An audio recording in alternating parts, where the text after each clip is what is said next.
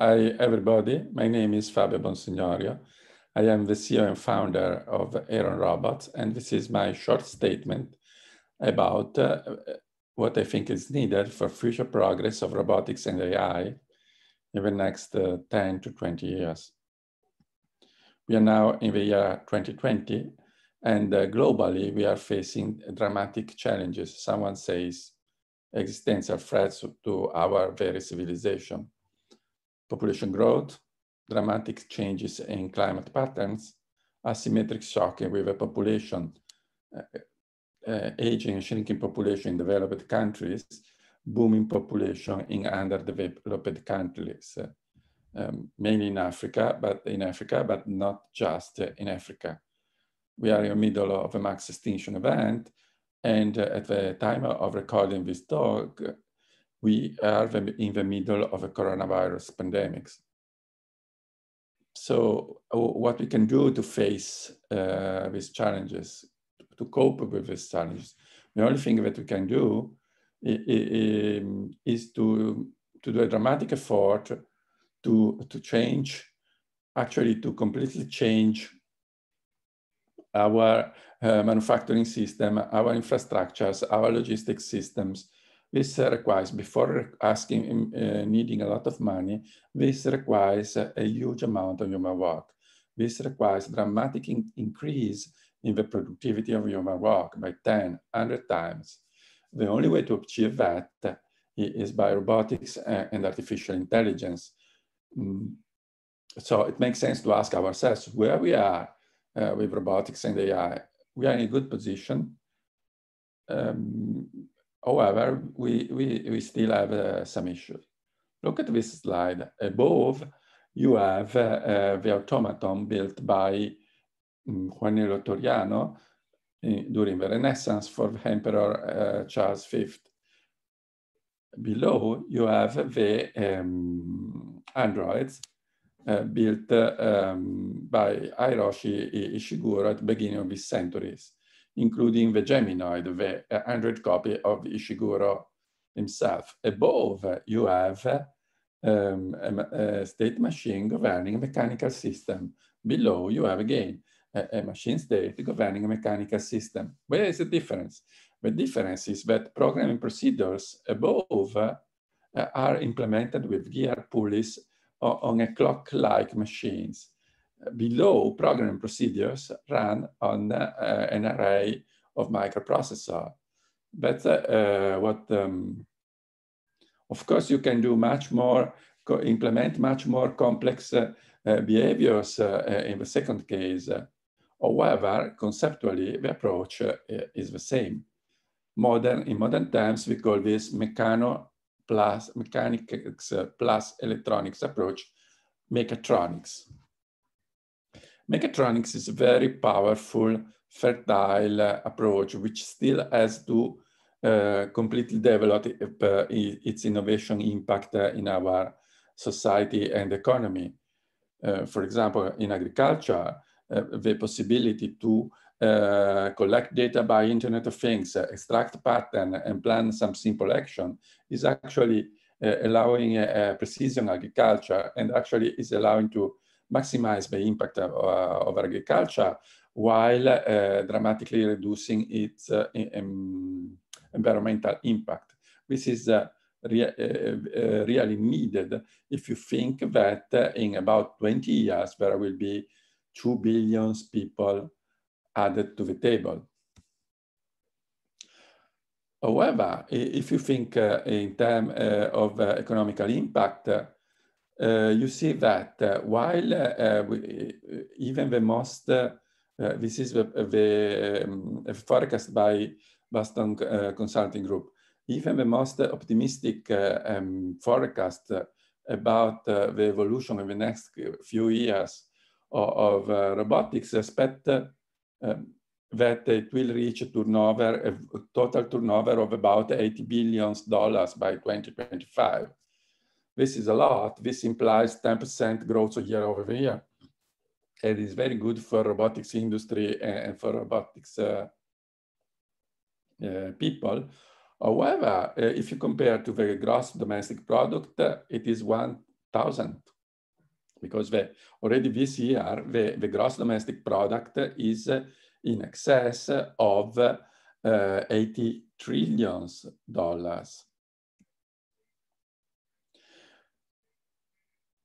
One more thing, uh, increasingly, we, uh, so this is uh, puzzling, right? Another thing is that uh, increasingly we are considering robotics and AI as scientific discipline, as science.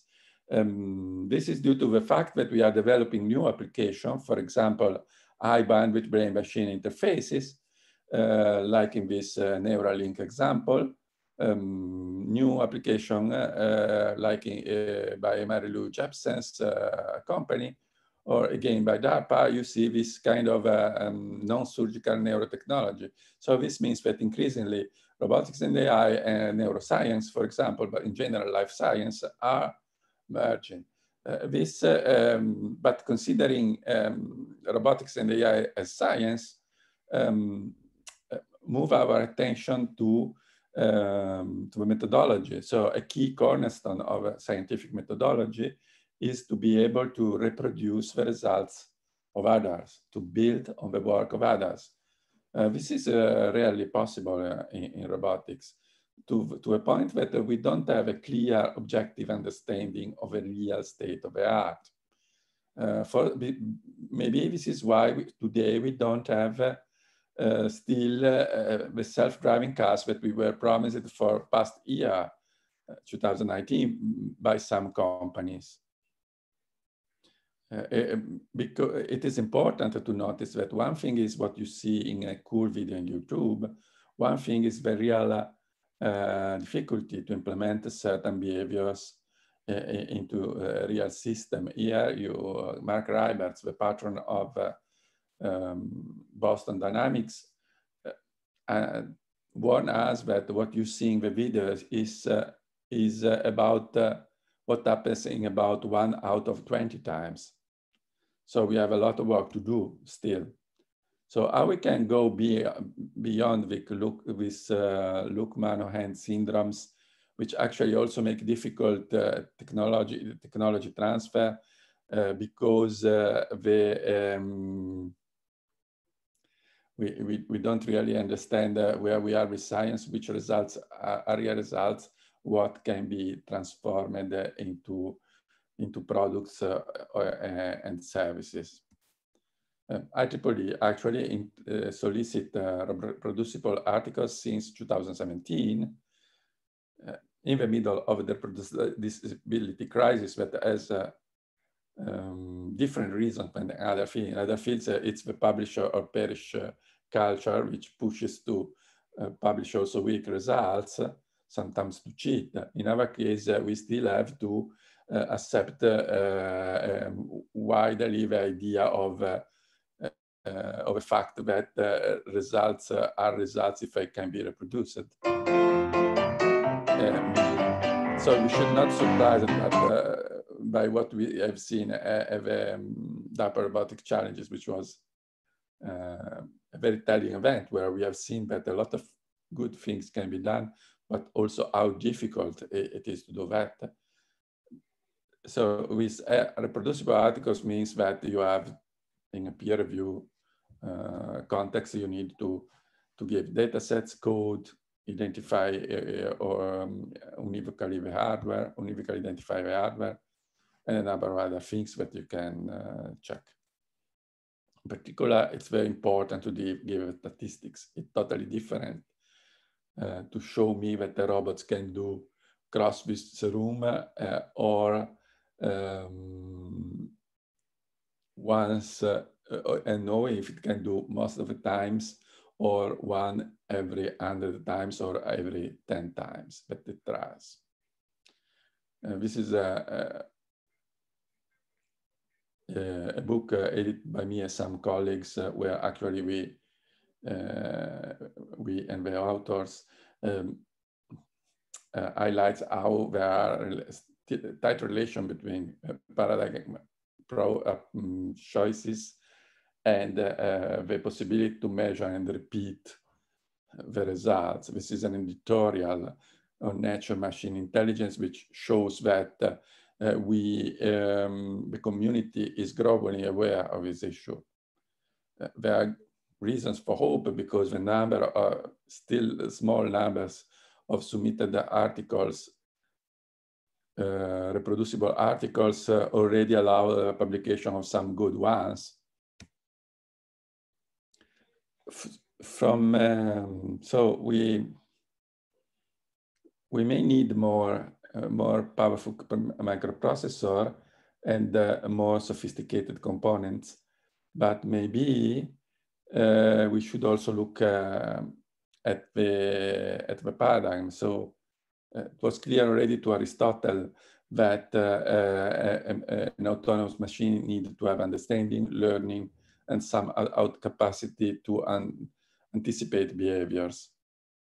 Uh, so we we need to consider, for example, the fact that we have this that we have this top-down approach, while uh, in biology uh, typically you have emergent behaviors from uh, um, a uh, loosely coupled uh, uh, huge number of independent agents, each performing both information processing and physical action. We, we need to think about uh, if uh, if cognition must be seen as a form of computation or if it is an, an emergent process, set of emergent processes on top uh, of a physical uh, system interacting with environment. We needed to, to see if uh, uh, soft robotics means having some compliance in the components or in the joints, or if it is an opportunity to rethink the way we, we, we, we implement intelligent behaviors into robots.